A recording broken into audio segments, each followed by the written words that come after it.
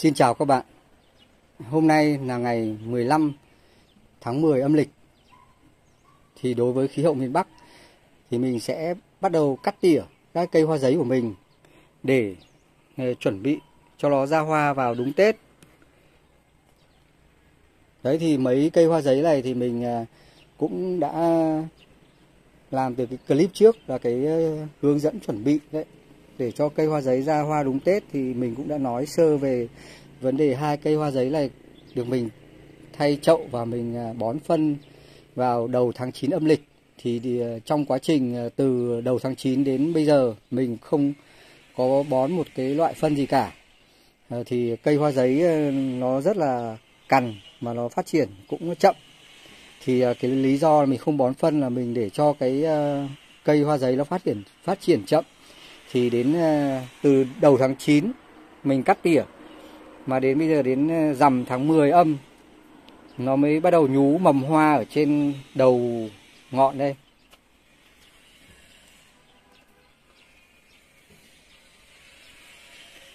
Đấy thì ờ, đối với những cây hoa giấy mà mình trồng ở phía miền Bắc, thì trong cái thời điểm là 15 tháng 10 âm này, thì nếu cây hoa giấy của các bạn khỏe mạnh mà nó ra nhiều tượt nhánh mà vươn dài, thì lúc đó các bạn sẽ cắt gọn hết cả cây luôn, cắt đều, cành nào mình cũng cắt để cho nó thu gọn, tán tròn lại.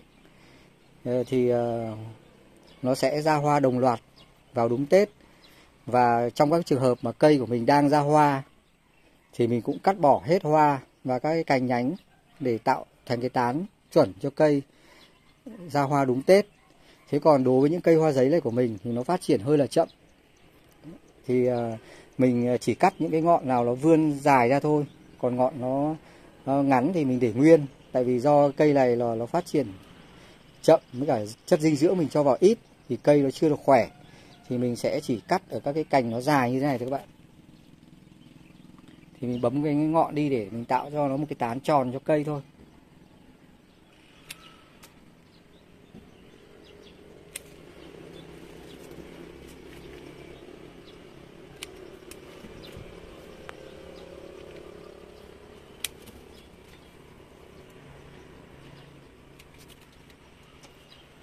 Thế còn ờ, các cái khi nó đã tạo thành một cái hình tán tròn rồi thì mình sẽ không cắt nữa tại vì cây của mình nó không được khỏe. Bây giờ mình cắt ờ, nhiều nó sẽ làm cây trột và cái, cái lúc nó ra hoa nó sẽ yếu. Thế bây giờ cây của mình bên này thì mình sẽ không cắt để cây này nó hơi có hiện tượng suy.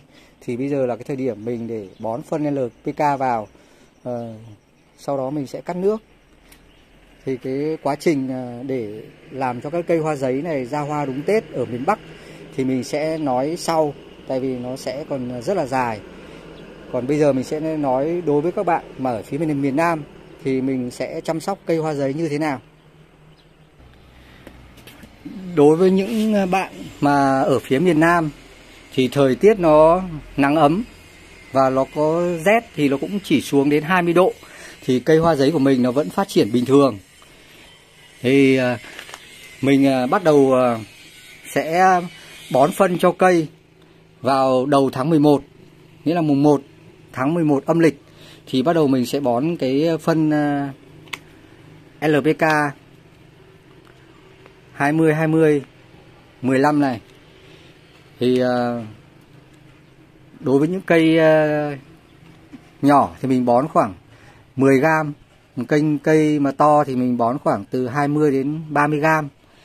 Thì sau đó mình sẽ tưới nước cho nó lại trong một tuần để cho cây nó hấp thụ hết cái lượng phân này vào trong cây. Thế và đến ngày thứ bảy, nghĩa là ngày mùng 7 tháng 11 thì bắt đầu mình sẽ bón cho nó cái phân loại à, LPK loại 16 16 16 này. Thì mình bón vào xong mình cũng tưới nước cho nó thêm 3 ngày nữa, thì bắt đầu đến ngày mùng 10 tháng 11 âm là bắt đầu phải cắt nước rồi. Thì đến mùng à, 10 tháng 11 âm là các bạn sẽ cắt nước cho nó khoảng 7 ngày. Là nó sẽ đến ngày 17 tháng 11 sau đó các bạn sẽ tưới nước trở lại.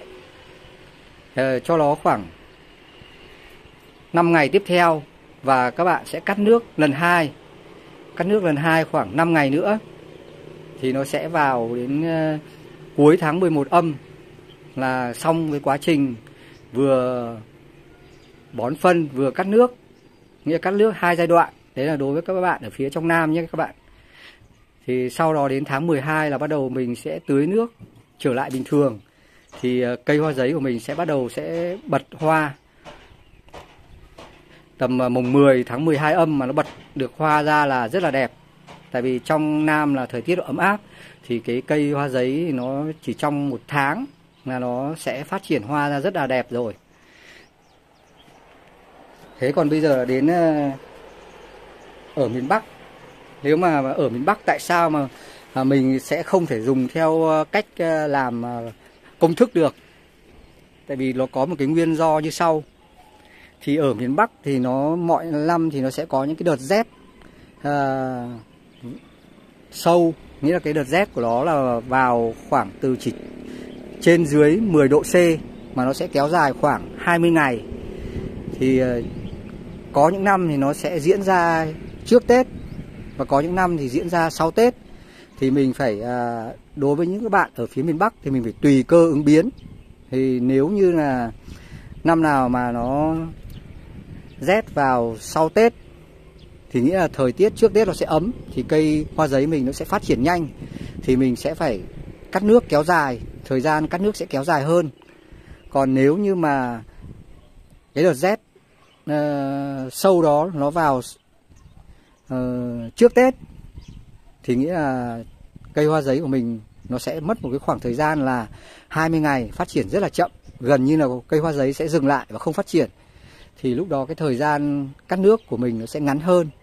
Thì làm sao mình mới chia sẻ với các bạn là à, đối với miền Bắc à, thì mình không thể áp dụng theo công thức được mà mình phải tùy cơ ứng biến nó do vậy là do ở phía miền Bắc là nó sẽ phụ thuộc vào thời tiết thế thì bây giờ mình sẽ ờ, chia sẻ cách mình ờ, pha phân NPK để mình bón cho mấy cây hoa giấy này.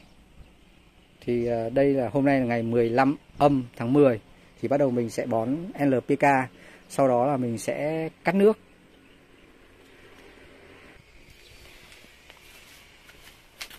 Thì đối với ở miền Bắc thì mình chỉ dùng một loại phân NPK này thôi loại phân này là nó ờ, có thành phần là 13 13 13 cộng TE thì ờ, mình có hai cây dây hoa giấy nhỏ kia thì mình chỉ pha cái lượng, phân NPK là từng này. Thì khoảng tầm 20 gram 20 gram thì mình đã cho vào trong ừ, cái xô, cái gáo này mình ngâm nước trước một hôm để cho nó bở ra thì để hôm sau mình sẽ hòa vào trong cái, một cái xô. Đấy thì à, 20 gram thì mình sẽ hòa với khoảng à, hơn 2 lít nước một chút để mình tưới cho cái cây hoa giấy kia.